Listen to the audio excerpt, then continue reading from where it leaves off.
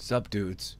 I have once again been continuously blessed by the gifts of our plague father Nurgle, as have those around me. And while I enjoy and relish the gifts of the plague, I can't release more videos that I've been working on.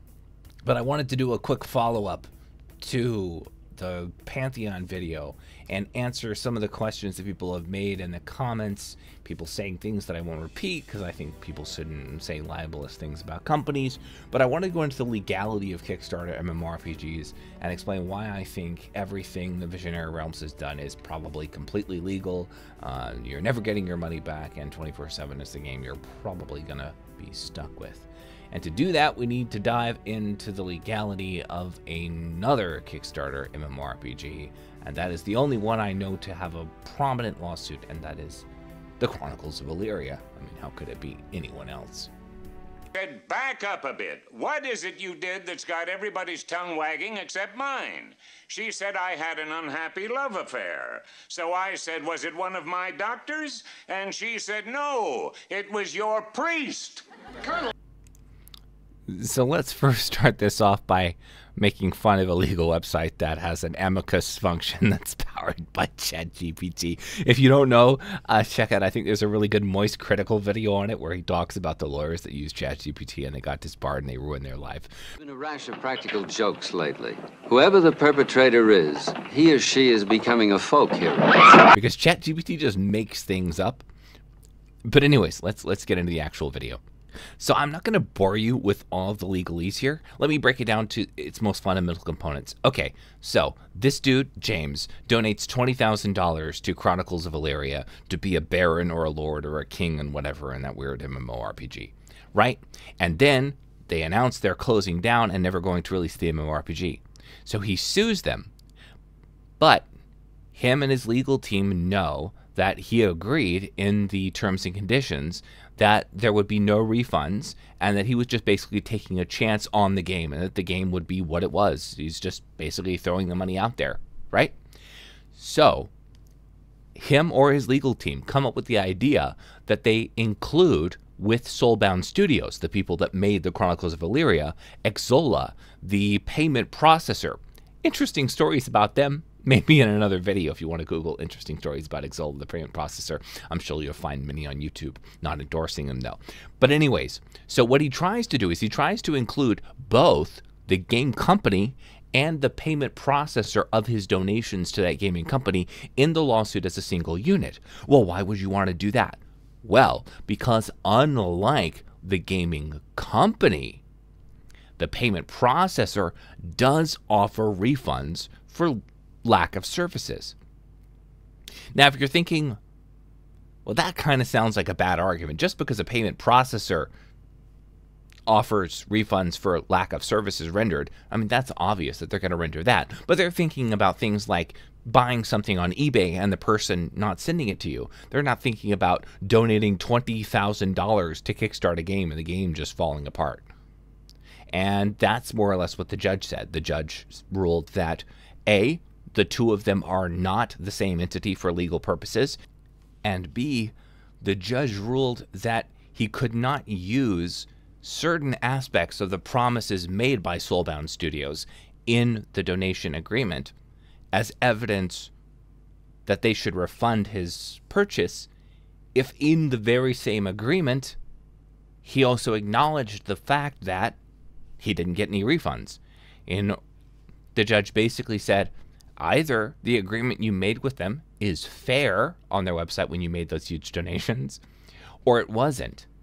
If it wasn't, then none of it can be legally valid because it wasn't formed the right way. Think about the um, South Park episode involving iPhone agreements uh, with Apple, where those agreements are clearly spurious and false, but they can't both be true and false at the same time something you signed is either a valid document or it isn't a valid document, and claiming both at the same time. The long and short of it is that the judge laughed the plaintiff out of the courtroom, basically. As far as I understand it, if anyone has a background in legal stuff and wants to look up these case numbers, I'll give them to you. I'll link it in the in the um, and the thing below. But what I thought was really really interesting from all of this is a a lot of people in the sort of Kickstarter scam tuber space were all over this as if this was like a huge, devastating lawsuit. It really wasn't. Um, there's been murmurs of class action stuff, but no, this was just a guy with a lot of money, enough to hire some attorneys who wanted some of his money back and was very angry.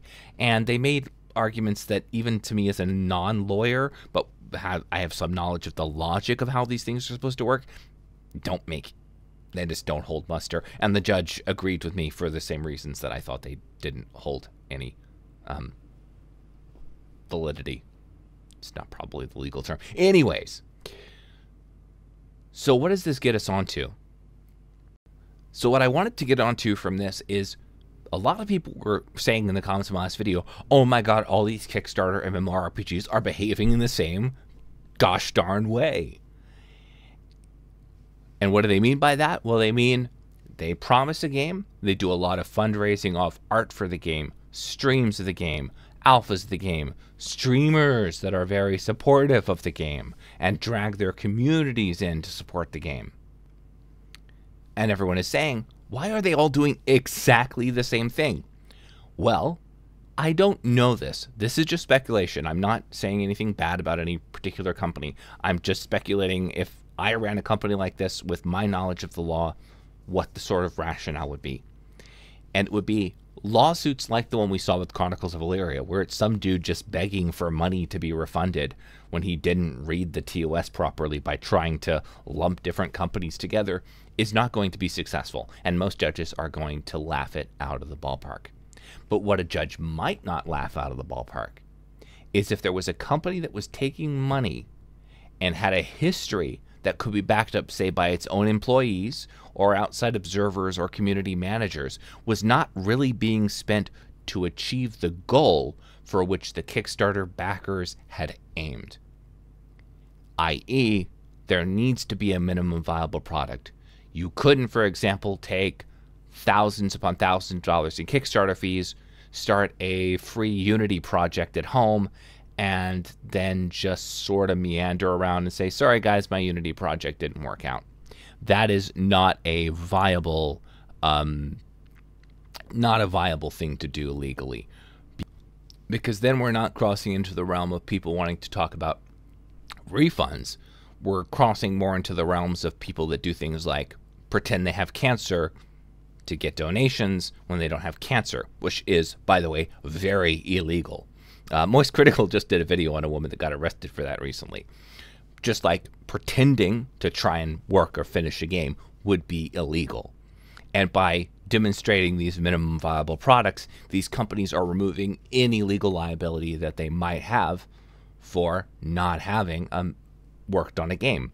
They're making it very clear, even if it's an alpha, even if it's uh, a PvP testing realm, these are games that we have created and we have at least done our best on our side of the of the line to provide the customer a product for which they have donated. We were not, as it were, faking to be in the midst of developing a game. And as far as I can tell, please, if you know more about this than me, get back to me in the comments below if you think there have been lawsuits felt like this. But as far as I can tell, every Kickstarter MMORPG that has failed has more or less been able to construct some minimum vi viable product that has uh, basically made a lawsuit like that impossible.